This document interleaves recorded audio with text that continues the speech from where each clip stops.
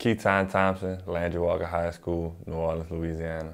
Besides football, I like to play basketball. I like to play chess a lot. Other than that, I like to play like Monopoly. The green, the green and the yellow that right right around that uh the jail, the jail trust. I'll try to get that area blocked off. That's a great question, man. Uh, a question I haven't answered myself yet. So we'll see when judge selection comes. When I hear Virginia football, I think uh, total effort. I think of guys with great character. Think of a unit, you know, who, who's going to fight for each other and just give it everything they got each and every play. My relationship with Coach Mendenhall has been great, man, and um, he's always been fair, always been honest, and uh, I feel like that's one of the things I respect most about him is he's always straightforward and honest with you up front.